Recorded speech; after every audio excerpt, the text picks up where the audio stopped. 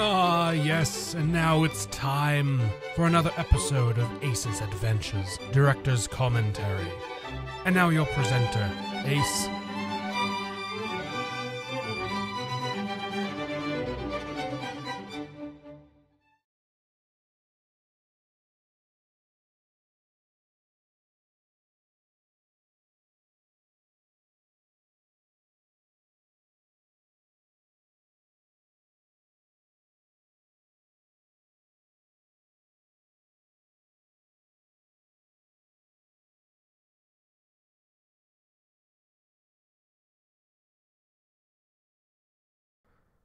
Hi everyone, Anthony here with Ace's Adventures, and welcome to episode one of my director's commentary on previous videos.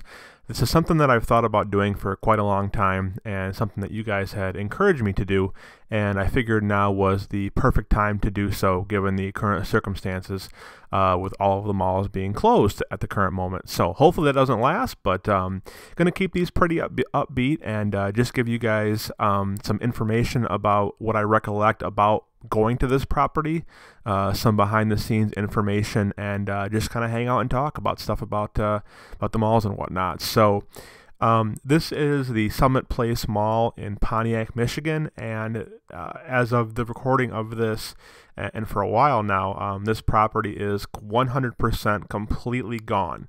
Um, this was demolished rather rapidly uh, late last year, and it stinks because I really wanted to get back to this place uh, one more time and, uh, and, film it again, but uh, unfortunately didn't get a chance to. Um, the first time that I was there, we, uh, as you'll as I'll explain in a minute, did not get to spend as much time in there as I wanted to, and um, this property was one of the favoritist properties I ever visited in all of my years of filming malls. This is, you know, there are different levels of these malls. And there are ones that are like open malls that are dead but are not really that aesthetically driven. There are ones that are open malls that are very much aesthetically driven like the concord mall. And then you have ones that are abandoned that are still pretty cool um, but not a whole lot going on. And then you have class 4 or class a really uh, these mega malls that are abandoned and have so many cool leftover features from their heyday and were never really updated in, in recent times. So as you can see now, we are walking through the uh, the picnic food court. This was such an amazing place to see. Um, so much history in this place, so much aesthetic, aesthetically driven images. I love the teals and, and, and the wood and, and, the, and the tile on the floor uh, in this food court. Um, and this place was sealed up pretty good. I'm going to get into it. Get, I'm going to get into it and give you guys some uh, never before heard information about how we got into this mall. Um, I love this hot sticks place. But yeah, this place had almost no graffiti in it at all, which you you'll see, and which is such was such a welcome sight um, to see that it wasn't vandalized uh, hardly at all. Um, nature was just running its course. There was a lot of mold in here, a lot, a lot of mold, and um, this was a place that I am definitely glad that I got to see. So, um, we're going to talk about a lot of things in these videos, and one of the things I'm going to tell you about is how I got into this property. So, in the four years next month, four year anniversary of the channel, I have never once physically broken into a mall to see a property. I've never physically done that. Um, I've been incredibly lucky to find ways to sneak in, and even though I realize technically in some places you may be considered trespassing, it's a risk you have to take. Uh, I am a law abiding citizen, I have no criminal record, and I was strictly only there to document the places and do nothing else, not damage them in any way. Um, as you guys probably already know that. That's the last thing I would ever want to do is uh, hurt one of these properties. If I was rich and I had millions and billions and trillions of dollars, I would buy these properties and I would revitalize them and then I would keep their aesthetically driven features while still adding modern storefronts or, or adding modern retailers. Um, I would make it a clause that if you were to open a mall or open a store in one of my malls that you would have to use um, I wouldn't necessarily say it had to be vintage, but it would have to be an aesthetically driven, interesting storefront. No plain whites and grays. It'd have to be something that had some taste to it. And I think that that actually would work well. I think that we got away from that, and that was one of the minor things that may have hurt the mall. Um, is they're just they're not really that great looking anymore for the most part. They're so boring. It's just I swear these companies nowadays, for the most part, not all of them, just put up four boxes and four doors and windows or whatever, and it's like, all right, here you go. You, you can shop in this boring ass mall. So, um, but anyways, going off on a tangent, uh, I want to tell you guys about how we got into this property. Um, so we drove out to this place. Um, my buddy Nick and I, who I miss dearly, but unfortunately we're not we're not talking very much right now. I would love for that to change. He's such an uh, amazingly talented musician. He's uh, the uh, creator of the synthwave group Betamax. Uh, please go support him on uh, on Bandcamp. He has an amazing album that he just put out recently. Such a talented, talented person, regardless of whether or not uh, we're talking right now. So me and Nick drove out to this place. Um, like I said, I think summer 2016 it was. We did a lot of, we had a lot of heavy hits, uh, a lot of successful malls, big name malls, and early on in the career, in my career of YouTube.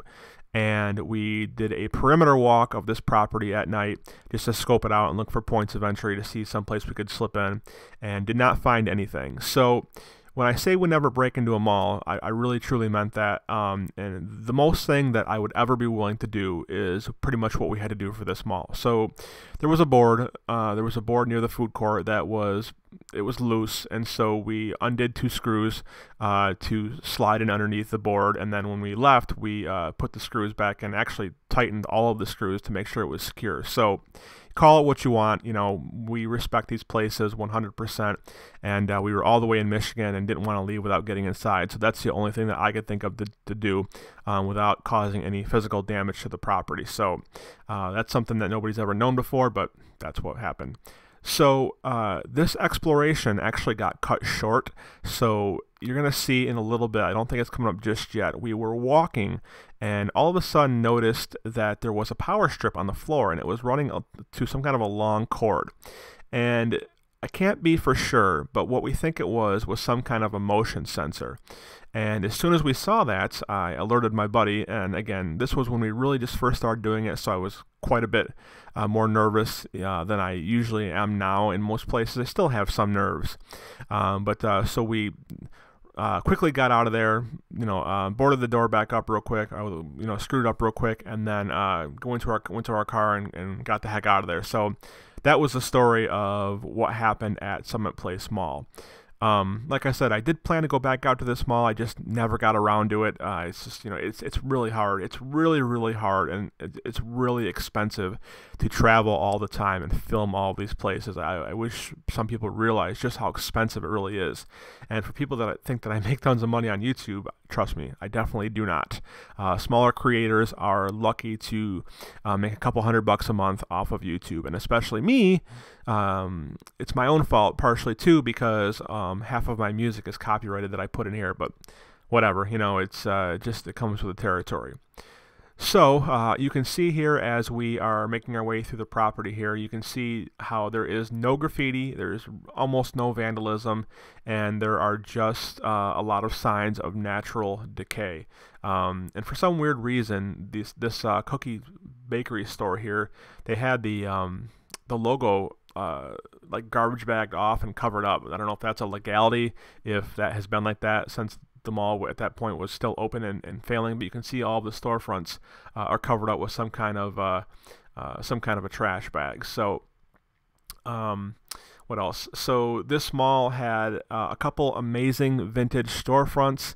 Uh, had a pretty cool old Deb, which is not super rare, but then uh, it had a extremely, extremely rare, which I think you're going to see here in a minute. I can't remember the exact timing. Uh, had a casual corner uh, storefront that looked damn near untouched from, I'd have to say, mid 80s. Um, by the way, uh, just to interject, you see that cord along the right side of the screen there? That is that's where we saw i think i panned back over to it if i remember correctly. That is where we think we saw the motion detector. And if anybody knows if anybody of you are in the security field and know if that's what that is uh, let me know if we were crazy for thinking that. But you can see right there there's something plugged in.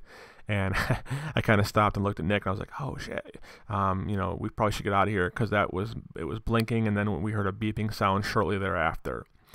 Um, what else? So as you're going to see here in a second also, and I have mentioned already, this property is one of the moldiest properties I have seen, top five in terms of mold.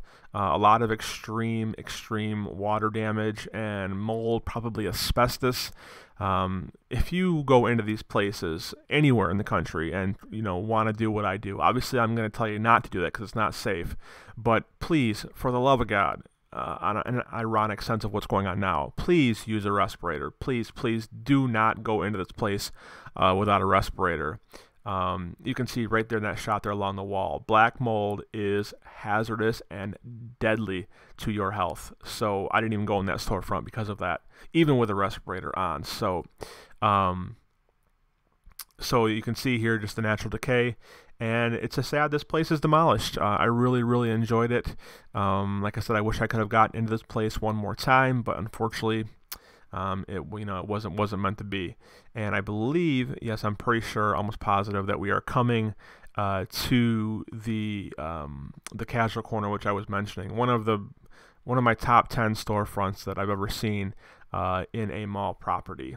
So hopefully you guys uh, you know enjoy this episode. Let me know what you think of this format with me rambling on here. I I personally myself, even though you guys say you don't mind, I don't like talking too much. Um, it's difficult for me to do that, uh, especially missing my two front teeth from uh, when I got smoked in the face playing hockey almost four years ago now. Um, so it's difficult to speak for a long time, but I'm doing my best to get through it. So hopefully you guys um, don't mind my voice and can um, t- you know deal with me talking for 15 minutes or so. And as you can see here, uh, as we wrap up the video here in just a few minutes, this is the casual corner that I was talking about. This amazing wooden storefront, uh, and definitely was not uh, ever updated. I don't think. And this end of the mall, there was some really, really heavy uh, natural uh, decay and uh, damage. Um, it's kind of funny too that big, huge pinball mach- or um, gumball machine is there too. But this place was, you know, kind of like Northridge, how Northridge used to be, where it was, um, where it was kept intact, uh, and was never really, really messed with all that much. So um, before I get out of here in just a few minutes, uh, please make sure that uh, you are following me on Instagram and Twitter at Aces Adventures One. That's where I post a lot of comments, uh, pictures, interact with you folks. If you do not have Instagram, please, please, please go and follow me on Instagram right now at Aces Adventures One because uh, every few days, especially with what's going on right now and having tons of free time, uh, I am going live on Instagram, and there is a feature where I can actually pull you up on screen with me and we can chat live, kind of like a talk show. So I would love to meet more of my fans and followers and chat with you guys and uh, just kind of be a a voice of reason in these uh, crazy times that we're going through. I hope that uh, life gets back to soon fairly normal, at least on a somewhat regular basis, and uh, we are all not uh, quarantined in the house because it's been uh, it's been pretty rough. Um, if you want to support me, I'm going to mention it. I don't care if you like it or not. I'm just going to mention it. You can follow, you can support me on Patreon at patreon.com/slash acesadventures. Um, my my PayPal address is acesadventures1 at gmail.com. Uh, any support now more than ever does help, as I am one of the many people uh, who have lost all of their jobs. All three of my jobs uh, are currently uh, one laid off, one I can't do because of safety reasons with being an Uber driver, and uh, my DJ income is is for naught with the uh, schools being closed. So anything helps out. I appreciate you guys. Thank you so so much for listening to me ramble. Um, this is Anthony with Aces Adventures. Everybody have a wonderful wonderful weekend, and we'll, back, we'll see you next week with more of Aces Adventures Director's Commentary. This has been another episode of Ace's Adventures Director's Commentary. Oh, no, you doing, Damn you, Karen! We're going to be late for rugby at the spa. Oh, anyway, thanks for joining, everyone. We'll see you next time on Ace's Adventures Director's Commentary.